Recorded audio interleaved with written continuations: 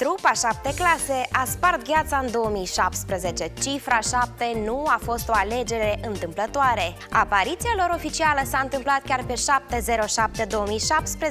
iar concertul de lansare cu câteva luni mai târziu. Recent le-am făcut o vizită la studioul unde se coc melodiile lor și am încercat să aflăm mai multe detalii despre băieții din Trupa 7 clase, în ce proiecte au fost implicați anul trecut, dar și ce pregătesc pentru anul 2018. Fata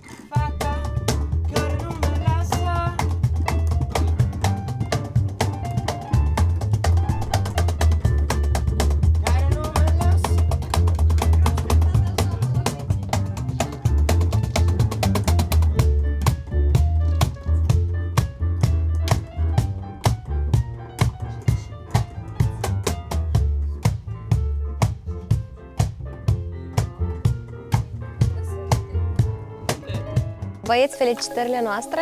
Ați avut uh, concertul de debut. Să fie cu Doamne ajută! Așteptăm creații noi de la voi și uh, aș vrea să povestiți de fapt cum uh, a apărut acest frumos grup, șapte clase. Noi trei, fratele meu, Vlad și Valentin, ne știm de aproape șase ani, de la școală, suntem într-o clasă și de acum Igor Cătălin tot de la școală. Noi eram în cămin și Valentin a venit la noi că el știa că noi avem covrigi.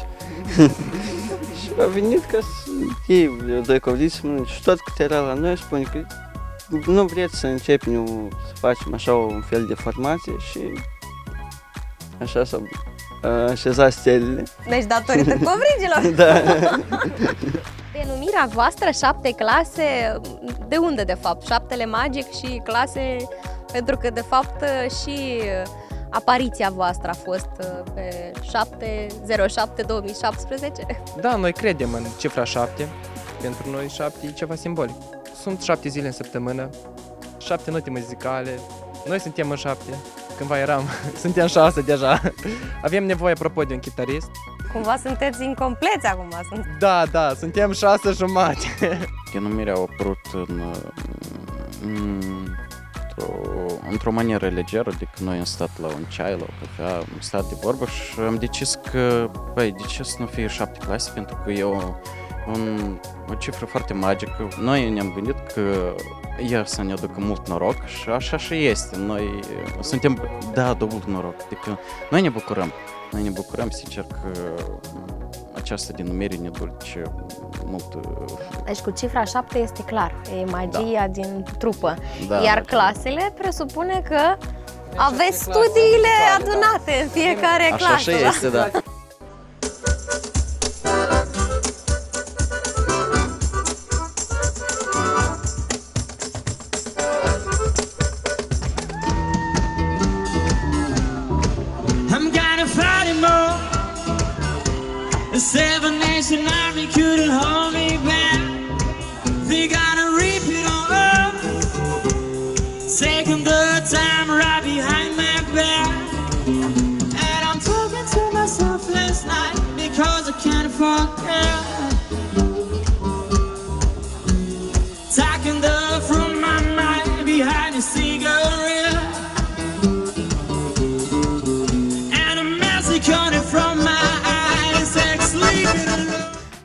Acest concert de debut ați avut o invitată specială, să spun, da?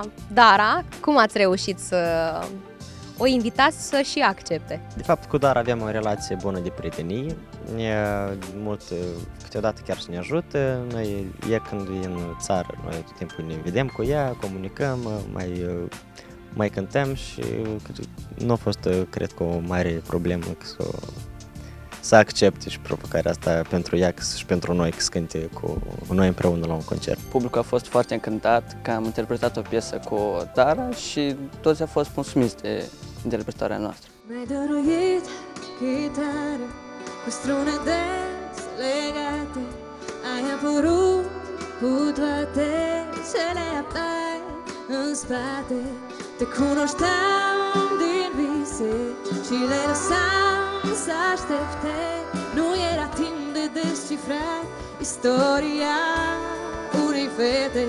Vântul o să bată Părul meu de fată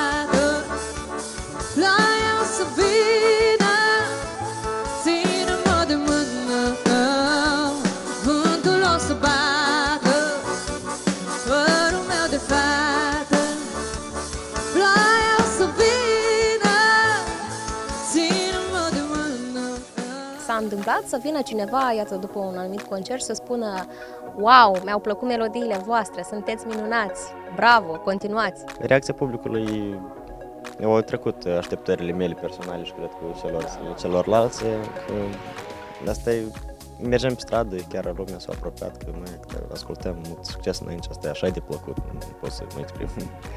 Că lumii le place și nu le place că lumii le place.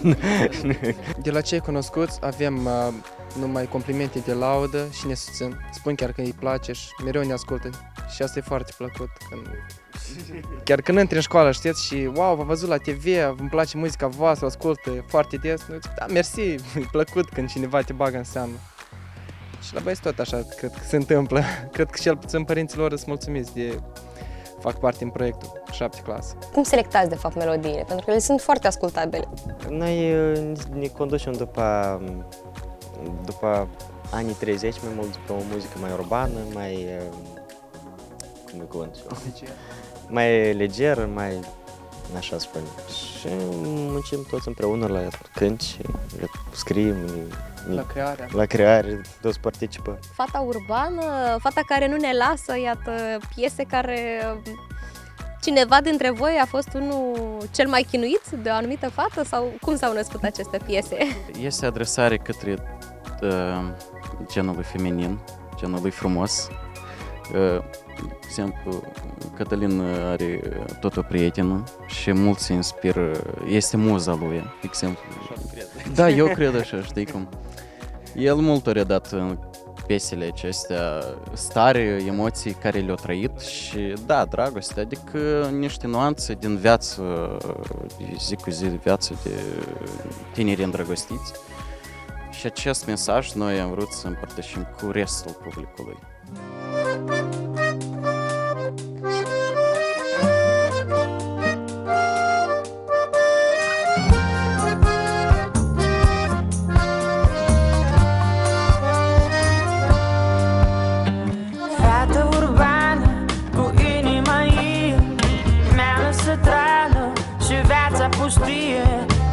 to I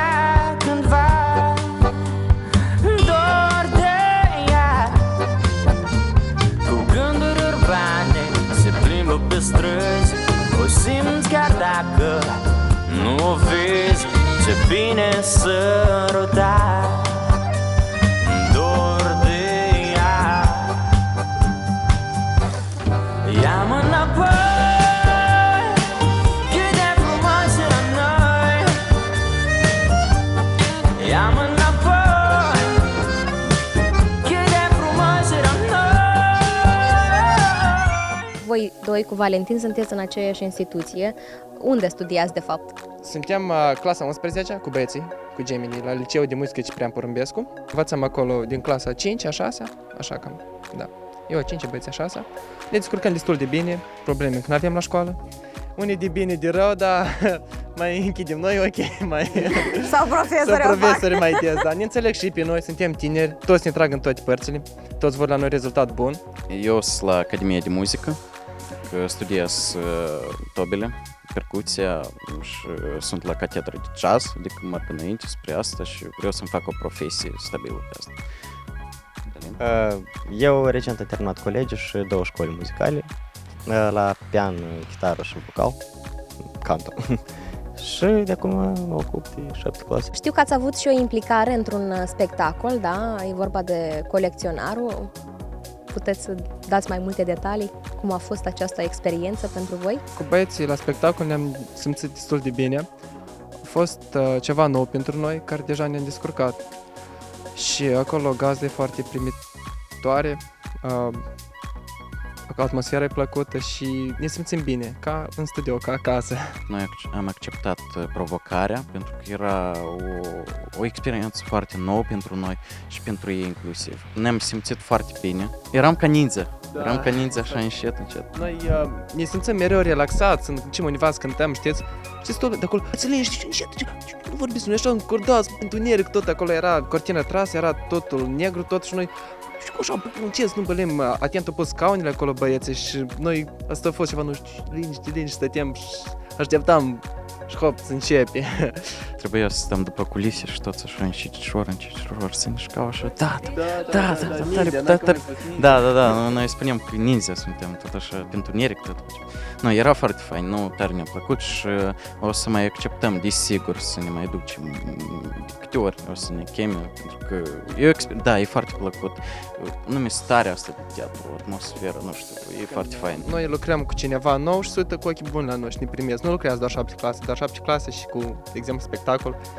Și deja suntem, am înțeles că, nu știu dacă să spun, dar mă tin ca să participăm și la alte spectacole, nu știu precis, dar era așa o idee. Deja o să vedem. Da, doamne, dacă...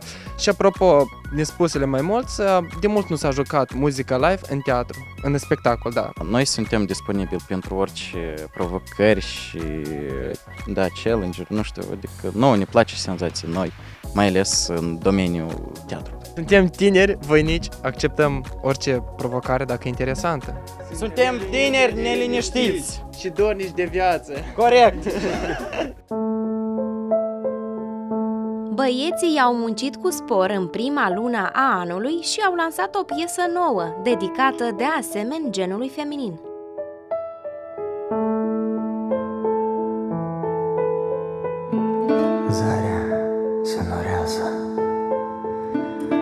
Ca de sus următori Dor în mii de tine.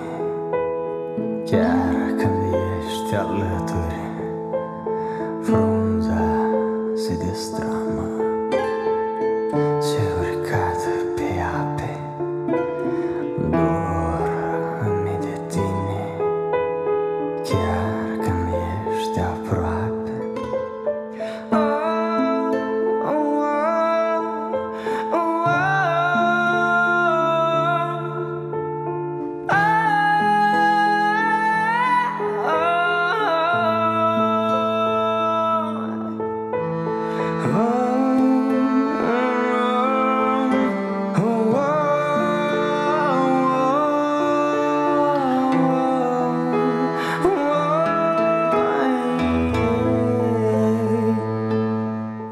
E o piesă foarte, foarte frumoasă, foarte lirică și dulce pentru urechea, mai ales pentru urechea feminină. Mult succes în continuare! Mulțumim mult! Deja o să ne găsiți pe rețele de socializare. Like, share, subscribe! Iar afară plouă